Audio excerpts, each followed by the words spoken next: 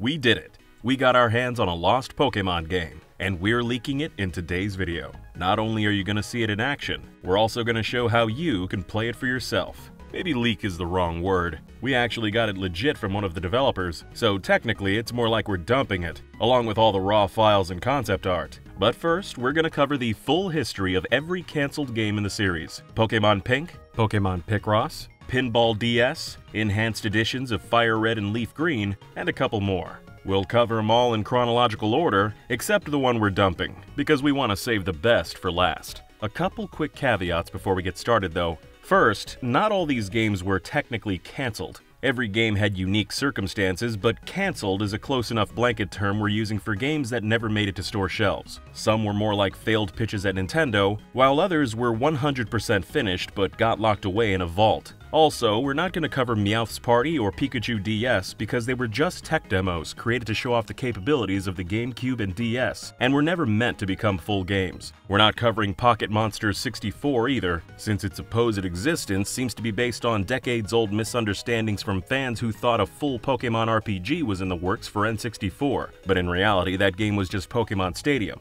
Okay, with all that said and the intro out of the way, let's start off by dissecting Pokemon Pink, which it appears Game Freak planned to release alongside Pokemon Yellow in 1998. In other words, Pokemon Pink and Yellow would have been paired releases, just like Red and Green. Fans had no idea about Pink until April 2020, when source code for Blue and Yellow leaked on 4chan. There were all kinds of interesting finds in the code, like unused Pokemon sprites, and audio files showing pretty much every Pokemon was intended to say its name.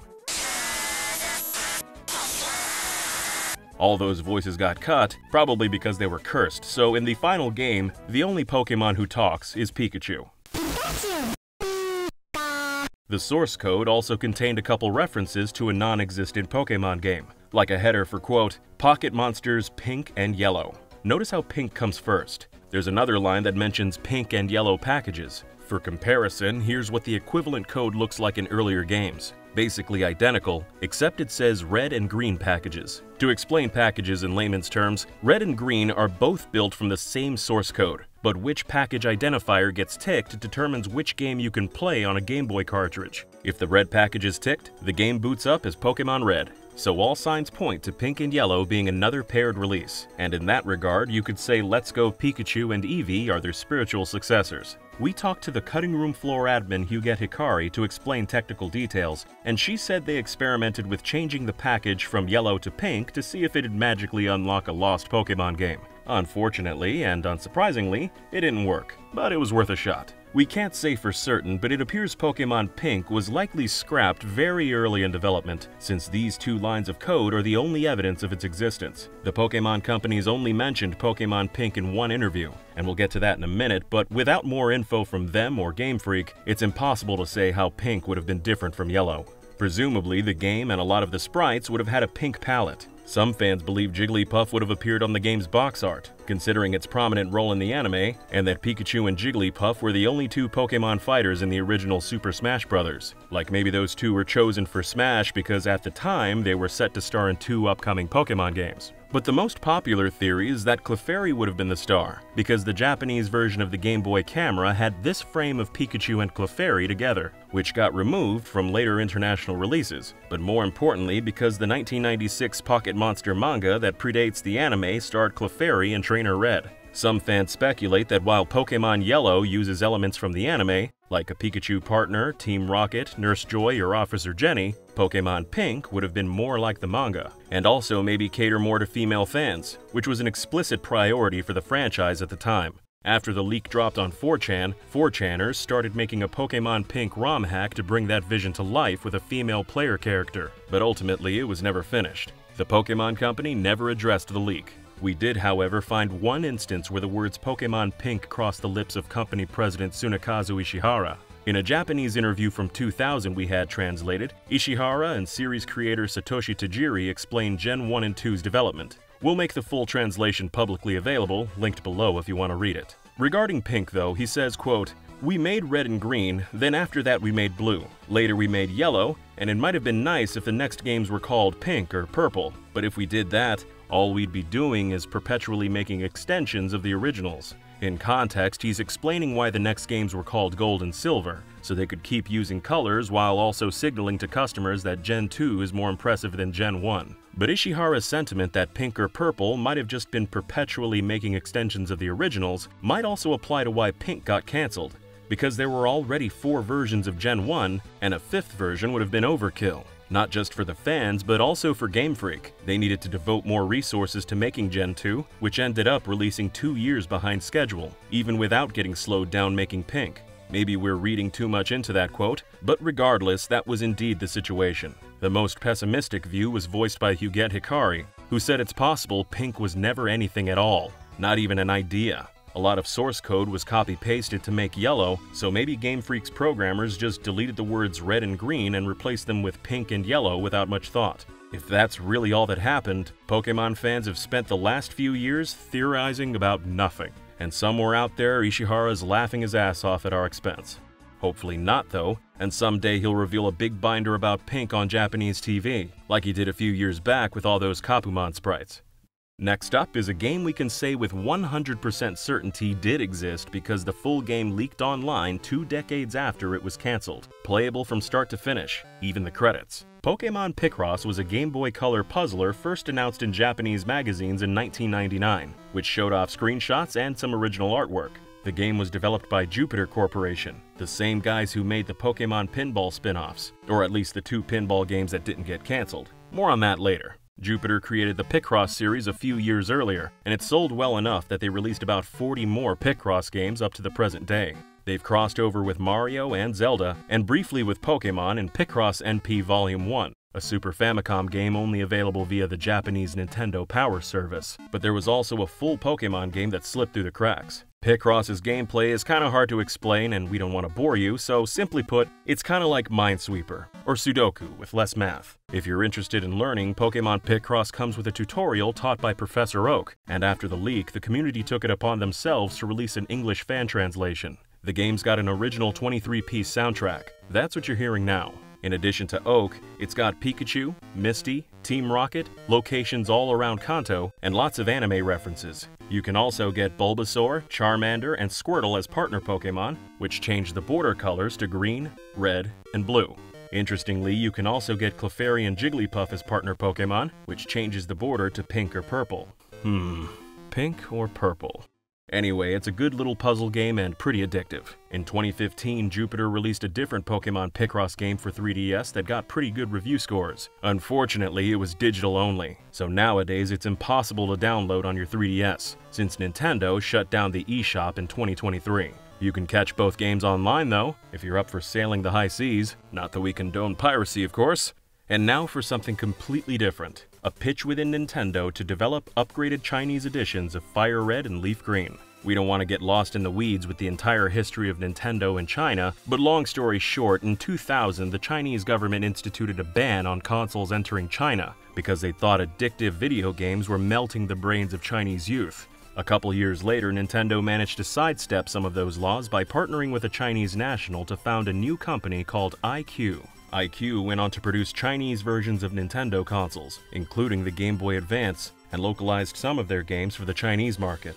In 2020, iQue was hacked and a lot of their records leaked online. Among all those documents was a PowerPoint presentation that iQue presented to Nintendo executives in 2004, outlining their plan to develop Chinese versions of Red and Green that would have implemented some remarkable upgrades. For the most part, these still would have been the same exact Fire Red and Leaf Green released around the world, collecting Pokemon, going town to town collecting badges, and so on, but with new features added, mostly focused on internet functionality. For example, the games would identify the player's location and change the in-game weather to match the real-life weather outside. Previous Pokemon games already had a day-night cycle based on real time, but this would have taken it to the next level. Specific Pokemon's locations around Kanto would have changed depending on real-life location as well. Details aren't spelled out in the document, but it sounds like a prototype of Pokemon Go in that respect, with players needing to go here and there to catch them all. Pokemon Centers would also be expanded, with only 30 Pokemon storable offline, but tons more stored online in Pokemon Center PCs, sorta like an early version of Pokemon Home. On the second floor of these expanded Pokemon centers, fans could battle on the internet. And not just the kind of online battles later introduced in Gen 4, instead, gameplay would switch to a computer screen, and you'd use the GBA as a controller. Battles would use Pokemon Colosseum's code, so all Pokemon and environments would be fully 3D. There'd also be online distributions of special Pokemon and items, which wasn't a thing in Pokemon games till the DS era. But instead of Nintendo just giving you special Pokemon, you'd go to completely new parts of Kanto to hunt for them. So kinda like the Sevii Islands for catching Mew and Deoxys that were already special events in Fire Red and Leaf Green. But iQue said new areas would also get added gradually after launch. Needless to say, these enhanced ports would have been far ahead of their time, with features not seen in Pokemon games till years in the future, or in some cases still haven't been seen even today, almost 20 years later. There also would have been some other small tweaks like egg hatching variables, and of course the text would have all been Chinese. So why didn't Chinese Fire Red and Leaf Green get made? The leak doesn't say. But if we had to guess, the Pokemon Company didn't want to hand over the keys to their precious IP. We wanted to know for sure though. We didn't want to just guess. One of the guys who makes up Did You Know Gaming lives in China, so he went looking for former iQue developers to find the story. He couldn't nail down a concrete answer on this project specifically, and the devs didn't want their names on record, but they did share a story that shed light on how relations broke down between China and the Pokemon Company around that time. Long story short, Nintendo President Iwata, Pokemon Company President Ishihara, and some other execs flew out to iQue's headquarters. The execs ultimately decided too many Chinese people were pirating Nintendo games so it just wasn't worth investing in the Chinese market anymore. iQue only released a few more Nintendo games after that. Then lots more that were previously planned ended up being canned, including a fully finished localization of Ruby and Sapphire. It's a shame those upgraded versions of Fire Red and Leaf Green never got made, but most of us can't speak Mandarin anyway, and even less have access to Chinese servers, so you probably couldn't have played them anyway. Pokemon Pinball for Game Boy was one of the earliest and most beloved spin offs in the franchise, and its GBA sequel got review scores on par with the mainline series. But after that, the series just kinda died off. Unknown to the public, though, a playable demo for a third entry on Nintendo DS was developed in secret. The Pokemon Company said they were the best graphics they'd ever seen outside Japan, but sadly, the game was never finished. Fans first became aware of the project thanks to a leak in 2021 which included a spreadsheet saying Pokemon Pinball DS was planned to release around the same time as Diamond and Pearl, and that it was being developed by Fuse Games, the same team who made Mario Pinball Land and Metroid Prime Pinball. No other information was available, so we searched out the devs to learn more about it. Fuse shut down almost 15 years ago, but we managed to get in contact with their artist Matthew Nightingale, one of nine guys who worked on Pokemon Pinball DS. He told us it would have been more of an adventure game, similar to their take on Metroid. He believed it was the quality of their Metroid adaptation that led Nintendo and the Pokemon Company to come visit Fuse's office in England and fund the development of a playable demo with three stages.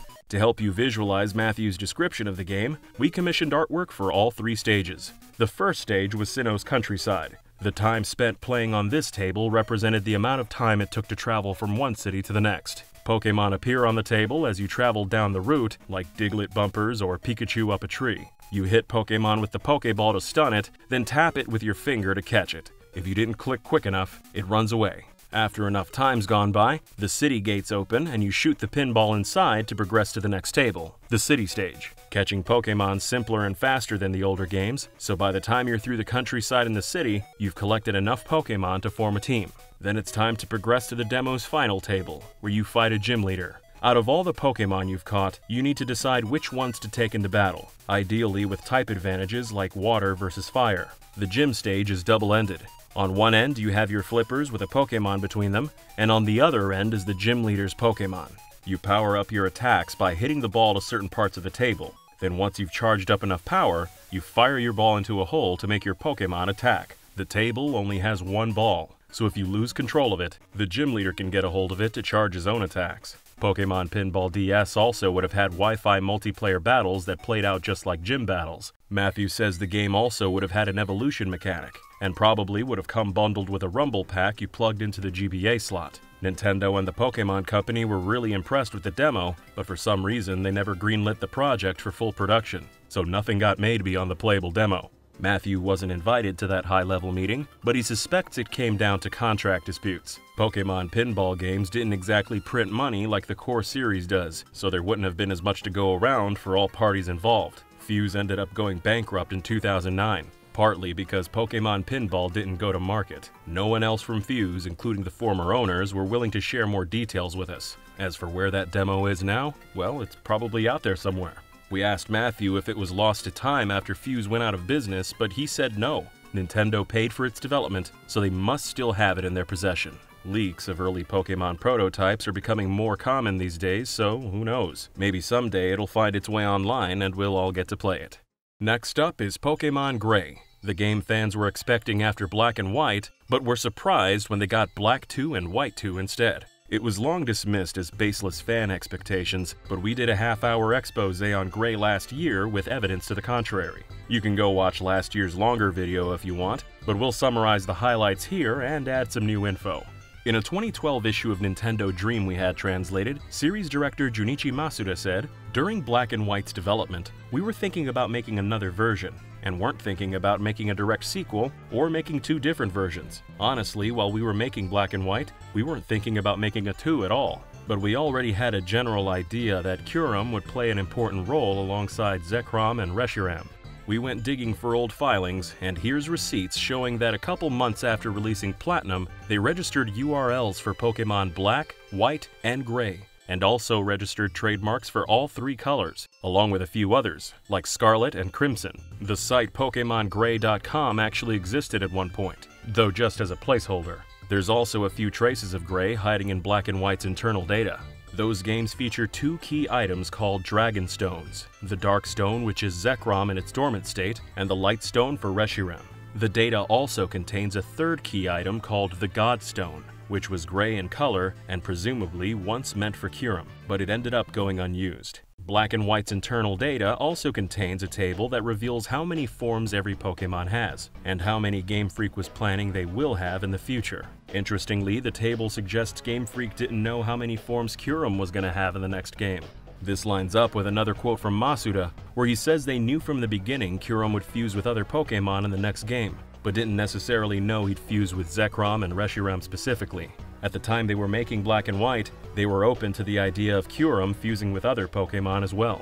The 3DS came out a few months after Black and White, so fans expected Gray was going to launch on Nintendo's new handheld and not the old, basically retired DS. But in a Famitsu magazine we translated, Masuda says that was never going to happen. At the time, there were 150 million DSs in the hands of consumers, but not even 20 million 3DSs. Game Freak could sell exponentially more copies on older hardware because of the larger install base, and they could make even more money releasing two games instead of one. So they went to Pokemon Company President Ishihara to see if he agreed. Recounting that meeting, Masuda said, Every time we finish a game's development, we're left with a feeling that there are still things left unfinished. As development on Black and White was wrapping up, we were just starting to come up with lots of fun new ways to make the two versions more distinct. There was no way we could implement them in time for Black and White's release, so we gave up on including them, even though we'd really wanted to. So at that point, we decided to make two versions of the next game, but we hadn't decided they'd be sequels yet. When we talked to Ishihara, he said, If it's going to be on DS instead of 3DS, I want some kind of new innovation added to it. It was then we came up with the idea of numbering for the first time in the series. So with a plot set two years after Black and White, and a development time of two years, we felt like we wanted to add the number 2 into the titles as well. That meeting was pretty much the nail in the coffin for Pokemon Gray, and by our math, releasing two games instead of one made them about $100 million more in revenue. As far as how Gray might have been different from Black 2 and White 2, besides packing everything into a single title, the sequel's director Takao Unno clued us in on Famitsu. He said his plan to make them different from a typical third version came down to three core pillars new protagonists, new towns, and a new adventure taking place two years in the future. In other words, Gray probably would have starred Hilbert and Hilda, had the same towns, and taken place the same year as the originals. So basically a Gen 5 version of Pokemon Platinum. There also wouldn't have been a continuation of N's story. Masuda says they originally wanted to leave N's whereabouts a mystery at the end, just flying away on his dragon to who knows where. But fans loved the character so much they felt they had no choice but to bring him back in the sequels. So for Black 2 and White 2, they had him return to save Kyurem from Ghetsis, help you obtain the legendary dragons, then just kinda retire to his castle. But initially, the plan was to never see him again after he flies away and leave his destiny up to fan imagination. But actually, N super fans might be interested to hear we might not have seen the last of him just yet. When Black 2 and White 2 was released, Masuda was asked if fans might eventually see one more pair of sequels with Black 3 and White 3. He said, if in the future we feel that we want to continue, perhaps we'll have a continuation. But we're really satisfied with how Black 2 and White 2 have turned out, so perhaps not. That interview was more than 10 years ago, so maybe Game Freak's come around since then. Who knows? Maybe that's what we'll get instead of Gen 5 remakes. And now for Pokemon Z. We found out Game Freak's official explanation in a 2016 Spanish magazine where the interviewer asks why Z never happened. Masuda says, We never really planned to make a third version. We always want to do things that surprise our fans. For example, after Black and White, people thought Pokemon Gray was going to come next, but instead we made Black and White 2. People thought Pokemon Z would come after X and Y, but taking advantage of the fact it's the 20th anniversary, we decided to deliver another surprise with Sun and Moon. In other words, instead of Z, they released a brand new generation to celebrate Pokemon's birthday in 2016. But to us, that sounds like corporate deflection, because what he said isn't actually consistent with series history. In all three previous generations, a paired release was followed up with a return to the same region about two years later. X and Y came out in 2013, so Z should have launched in 2015, not 16. In fact, 2015 was conspicuously the only year in almost a decade that didn't get a new mainline entry. And it's not just Game Freak's release schedule that suggests something's missing. There's also data hidden in their own games. We broke this down in exhaustive detail in that half-hour expose last year, so for this video, we'll give you the short version. In a combination of data mining X and Y's internal data and a leak of Sun and Moon's source code, it was revealed inside those games was a list of every Pokemon game, including some that wouldn't come out till years later. The purpose of those lists was to facilitate games connecting to each other, like trading and battling. Sun and Moon's code showed placeholder data for virtual console versions of Gold, Silver, and Crystal, which hadn't been announced yet, as well as two games called Alola Reserve, which eventually became Ultra Sun and Moon. Similarly, there were two entries called Kalos Reserve, positioned as if they were going to release in 2015. All seven games in the data eventually did come out, except the two Kalos games. So actually, Game Freak's programmers weren't just reserving space for Pokemon Z, they were making room for two games. Two games make more money than one after all. Surely there wouldn't have been two Pokemon Zs, maybe X2 and Y2, or XZ and YZ with the Z's stylized to look like 2s. There's no evidence for what they would have been called though, so for the sake of simplicity, we'll just refer to them collectively as Pokemon Z for the rest of this video. The anime shines even more light on that Z-shaped hole in 2015. Historically, new seasons sync up with new game releases. The first episode of the Black and White anime aired the same week as Black and White the Games. Black and White anime season 2 broadcast the same week as Black 2 and White 2. The XY anime and games also released the same week. Omega Ruby and Alpha Sapphire launched with the episode where pretty much all the new Mega Evolutions made their anime debuts. And finally, the XYZ anime aired its first episode in October 2015 which is when Zygarde's 10% and 50% forms made their first appearance, along with Zygarde cores and Zygarde cells. The anime's all planned out long in advance, so it appears Pokemon Z was originally scheduled to launch alongside the XYZ anime in 2015. Zygarde only played a small role in X and Y, just waiting in a post-game cave with no story connected to it. Basically the same role Kyurem had in Black and White, which got more fleshed out in the sequels. Fans expected a similarly expanded role for Zygarde in Z, and X version's Pokédex seemed to hint in that direction when it said, quote, When the Kalos region's ecosystem falls into disarray, Zygarde appears and reveals its secret power. But that never happened, so two new Zygarde forms, cores, and cells found their way into Sun and Moon instead. There's also some unused content and X and Y's internal data that suggests Game Freak was planning more for Kalos, at least at the time those games were in development, like AZ's Floette, which has unique stats, a signature attack called Light of Ruin, and even its own cry in X and Y's internal data, none of which ever got used. X and Y's data also has two moves for Zygarde, Thousand Arrows and Thousand Waves that didn't get used either. A similar thing happened in Gen 5 when Freeze Burn and Ice Shock were found in Black and White's internal data, but didn't get added as Kyurem's signature attacks until Black 2 and White 2. That the same thing happened twice suggests Game Freak may have originally intended Thousand Arrows and Thousand Waves for Pokemon Z. Z never came out though, so those attacks got introduced in Sun and Moon instead. All that evidence strongly suggests Game Freak intended to make Z while they were developing X and Y. So, why didn't they? We spent about 5 minutes getting overly thorough in last year's video, so this time we'll just give you the short version. Simply put, it's got a lot to do with the Gear Project. Basically, it's a Game Freak company initiative that aimed to make a new franchise that could become even more popular than Pokemon. According to one of Game Freak's directors Masayuki Onoe, there are two different production teams here, simply named Production Team 1 and Production Team 2. Team 1 is fully dedicated to Gear Project, while Team 2 is for the Pokemon operation. What that means is that Game Freak as a company is prioritizing Gear Project, which is production team number 1, more than Pokemon in general. We're always trying to create something that is equally exciting or more exciting than Pokemon. In other words, for a good chunk of the 2010s, they were devoting lots of resources to making non-Pokemon games, like the rhythm platformer HarmoKnight, quirky horse racer Pocket Card Jockey, side-scroller Tembo the Badass Elephant, and puzzle platformer Giga Wrecker. The Gear project was at its most active in the Gen 6 era, when those same devs could have been making Pokemon Z. Some of Game Freak's top talent worked on Gear Project games, like the directors of Omega Ruby and Alpha Sapphire, and Ultra Sun and Moon. The teams who made Gear games were small, but Z could have been made with a small team as well, and pretty quickly. ORAS, for example, was developed in just a year. In another Nintendo Dream we translated, Masuda says Heart Gold and Soul Silver were made with just 12 developers, and Black 2 and White 2 had a similarly small team. Pokemon games grew their staff by 50% when they switched from 2D to 3D, so back of the napkin math, Z could have gotten made by 20 devs, 30 on the high end. Game Freak staff have said in quite a few interviews that they're kinda tired of just making Pokemon year after year, and frankly, we can't blame them. They needed to recharge their batteries, learn some new skills, and work on something different for a change. Regrettably, their hopes of producing something more exciting than Pokemon didn't pan out. Gear Project games got decent reviews, but hardly anyone bought them.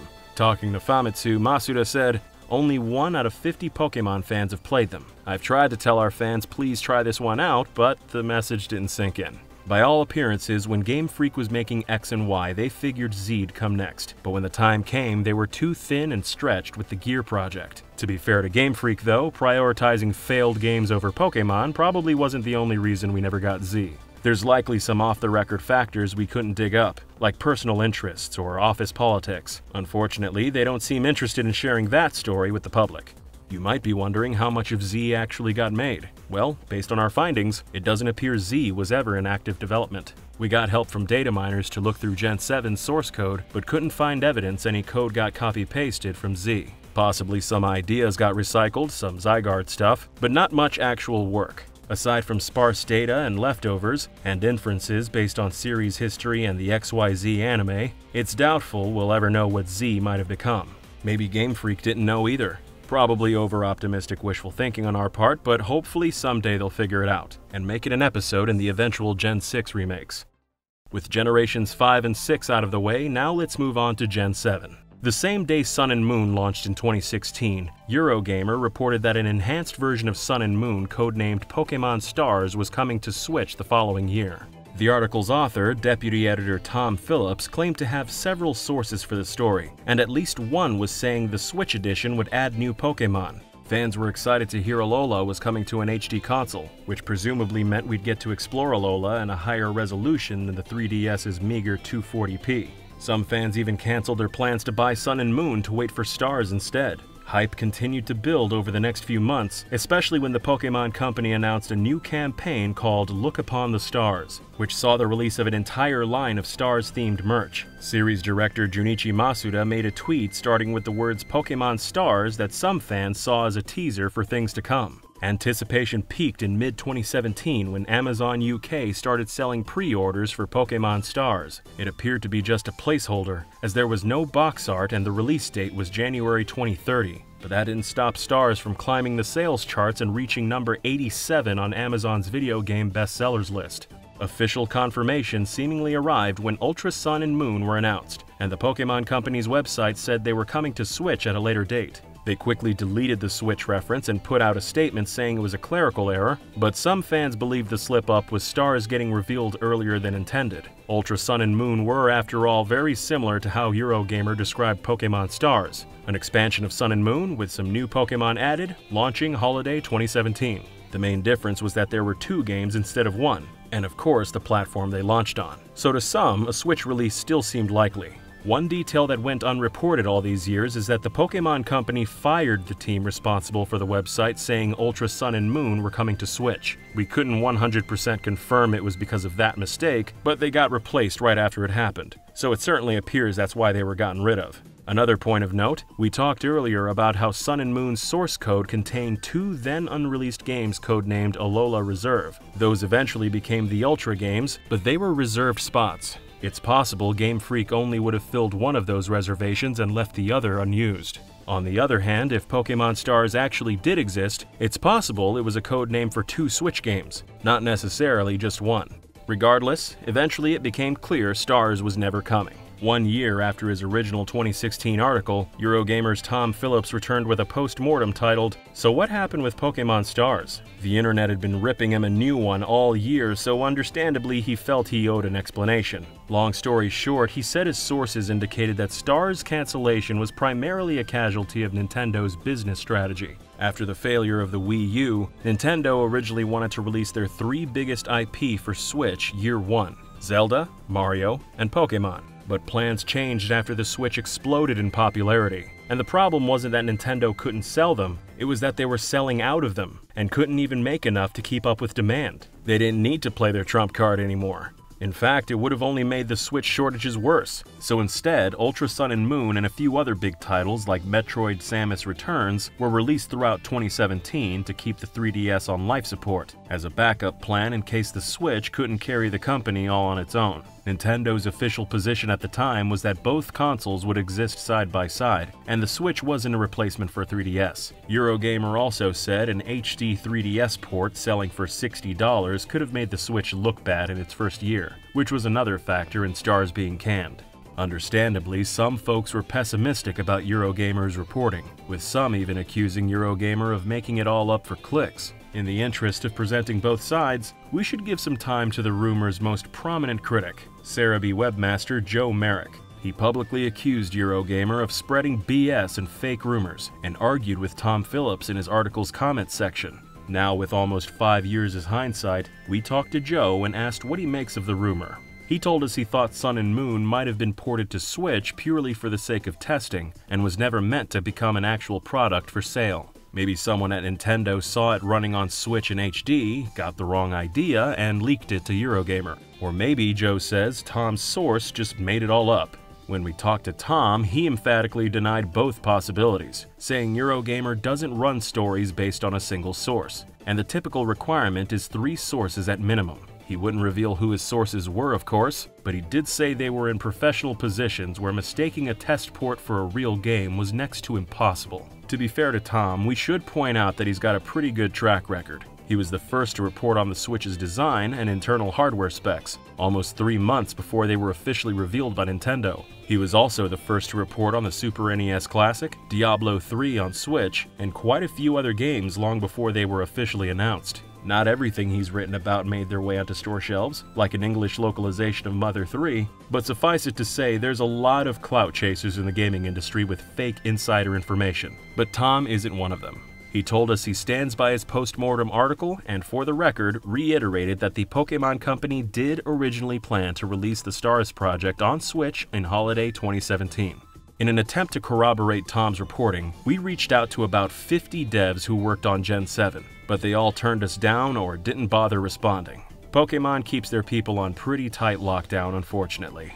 There sure was a lot of smoke, but we can't say conclusively if there was ever fire. Whether or not Pokemon Stars ever existed remains a mystery even to this day. For this last game, we just want to say right off the bat, it's been designated lost media for years, but we restored it and as of today, it's been added to the Internet Archive. It ain't lost media anymore, and you can play it right now if you like. We'll talk about that more in a minute, but first, let's look at the game itself. Pokemon 2000 Adventure was an officially licensed game that ended up being better than Nintendo expected it to be when they signed the contract, so they shut it down. but by then a million people had already played it. The history on this one is pretty unique. The second Pokemon movie, called Pokemon the Movie 2000, was distributed in America by Warner Brothers. Along with the movie, Nintendo fully licensed and gave permission for Warner Brothers to create promotional materials to sell more tickets. Nintendo were probably expecting posters, art, trailers, and maybe cheap web games, like Pikachu-themed Tic-Tac-Toe, but they weren't expecting Warner Brothers to spend millions producing a 3D Pokemon game. But that's exactly what Warner Brothers did. They contracted a studio called Cyberworld, who previously made virtual shopping malls, a Harry Potter game, and various other three-dimensional experiences. Think of them like Doom. 3D spaces populated with 2D sprites, but running in an internet browser. Pretty impressive back in the 90s. Warner Brothers wanted to use this cutting-edge technology to promote the new Pokemon movie. We talked to Eddie Ruminski, one of Cyberworld's developers. We launched it and we had about a million downloads in the span of a month, which was our most popular game to date. And that's when Nintendo freaked. And they immediately hit us with a cease and desist.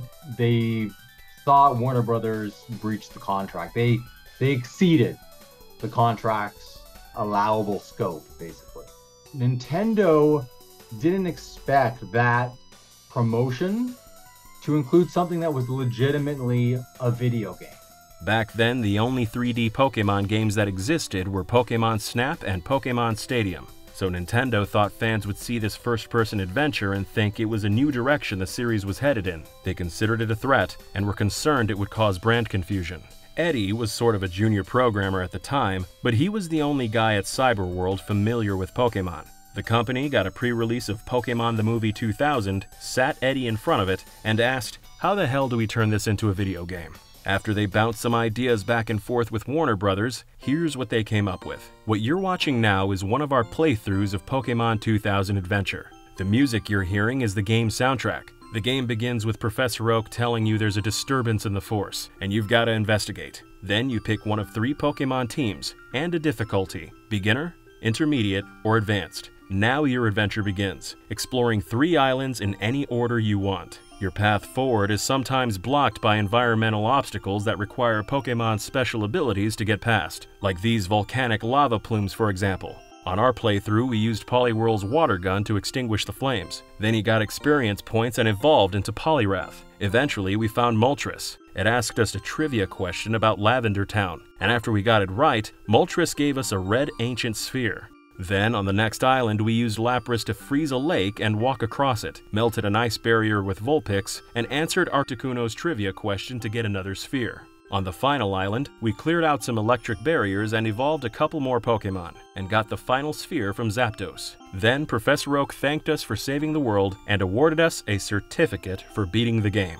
You can also get a final score and gold, silver, or bronze ranking, depending on how well you did. The game's only about 10 minutes, but there's some replayability thanks to having three Pokemon teams and three difficulty settings to choose from. By the time Nintendo struck down the game, the devs had already got paid, they got to see the movie before it hit theaters, and they got to say they'd worked on a massively successful Pokemon game. It was the greatest compliment via cease and desist, saying, sorry, what you made was too much like a good video game. At the end of the day, when it was pulled, it was more like, we've already been paid. Like that was a $2 million deal for that to make that game.